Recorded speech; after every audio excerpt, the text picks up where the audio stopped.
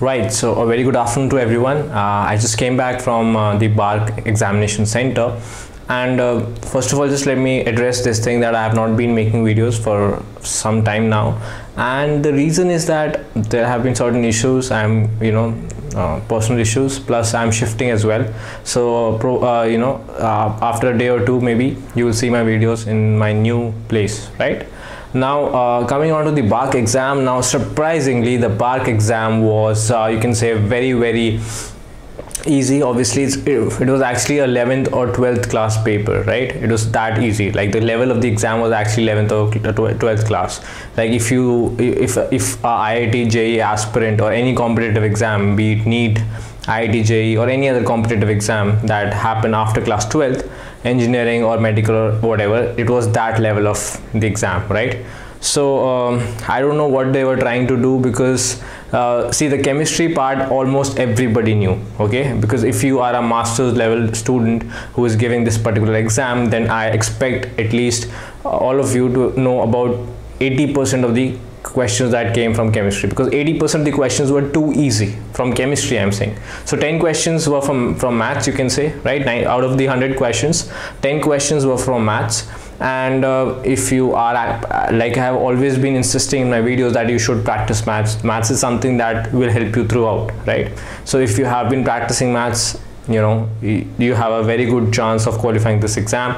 Uh, if you didn't attempt the maths question it is difficult because the chemistry questions were so damn easy. They were so damn easy that anybody anybody from with a with a little bit of knowledge of chemistry and especially if you are a master student you're giving this exam. I mean i don't i don't see a reason why you could not answer those questions right? If you are if you are not able to answer those questions you need to work on your basics right back from your 11th and 12th ncert because the paper was right from the ncert right the coordination questions were damn easy. K3 CO CN6 uh, you know you need, you need to find the Bohr magneton. So these questions are like basic 11th class coordination questions. And then there were questions on dipole moment which will have the highest dipole moment.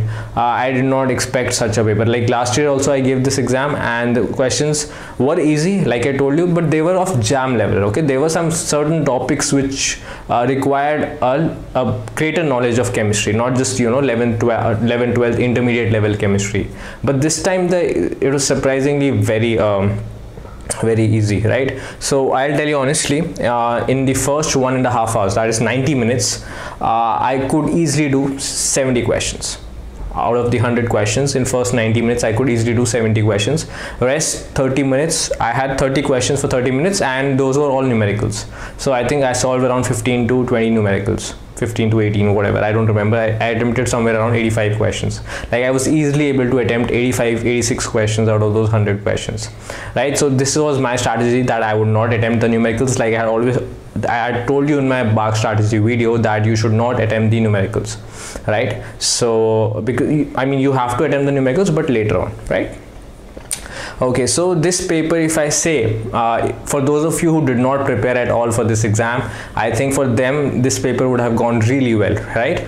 So because see those of you who who would have you know studied for this exam who would have you know put in some hard work uh, i feel bad for you because you would have done some advanced topics and the question was very the question paper was very very basic right?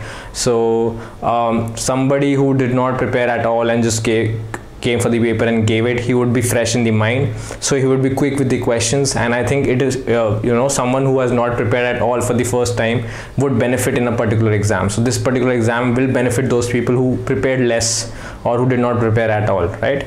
Because this exam uh, it uh, it required speed. That is the only main criteria and a little bit of knowledge of maths. So if these two things were there with you apart from chemistry knowledge which was very basic like i told you. So so you know like in csir net in your gate exam you need to have good thorough knowledge of chemistry. So if you have a good thorough knowledge of chemistry and even if you're not fast with calculations or solving the questions or your strategy is not good yet you can clear that exam right? But this exam was see the chemistry was very very average right? So everybody who gave this exam uh, and who's from a chemistry background would have easily solved those chemistry questions. So now the difference is going to lie, on how many questions you attempted. That is you have to be very quick. Uh, you have to be very fast. And if you have practiced a lot of numericals and if have if you have followed my strategy of of you know completing the numericals later on and if you do not know the answer to the question just jump onto the jump onto the next question right? You do not have the time to think in this particular exam. So if you had followed these strategies you would have definitely solved at least 70 questions. I think there there is highly i think 70 questions were quite easy to solve in those um, 120 minutes right? And the second thing is that uh, if your maths is good, good like I've been repeatedly telling you then you would have easily done really well in this particular paper right? So questions again from numeric even from nuclear chemistry I had thought though there will be questions on decay schemes and kinetics.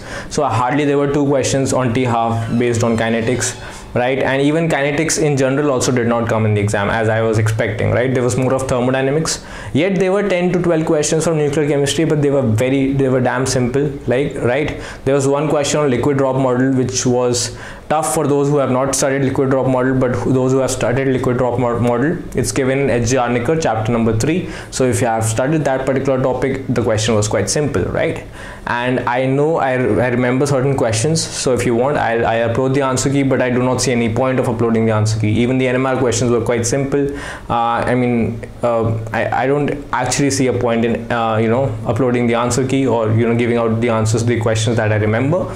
But in case you want me to do that you can comment down below. I'll make answer i'll make the answer key for these questions for the questions that i remember and also contribute by you know by uh, okay once i make the answer key once i make the questions that i remember and once i you know solve those questions then in the next video whichever whichever it is you can just comment down below whichever questions i missed out and you remember and then i'll solve those as well right? So i hope you did well. I think it was quite easy. The paper was very very easy and i don't see any reason why you could not do more than 60 questions because um, I could I can say like okay 10 questions are from math so let's leave that out. If I talk about the chemistry part 10 questions there was no question which which was hard which was difficult. There were 10 questions you can say 10 to 12 questions which were of medium you know of medium uh, medium yeah they were of medium level. And there were about 65 to 70 questions you can say yeah about 70 yeah about 70 to 75 questions which were very easy to solve right? So 75 questions were easy 12 to 15 questions were medium level right? There was no hard question and 10 questions were maths were based on pure maths right? So i think 60 questions you should be able to solve easily and i think that that would be the cutoff. This time i think i mean i do not know what what it's going to be but i think 50 to 60 questions at least you should have solved in this in this but at least 60 questions you should have solved in this particular exam right? So i think the cutoff will go around 160 170 that's what i feel. Uh, rest you can let me know and all the very best. Thank you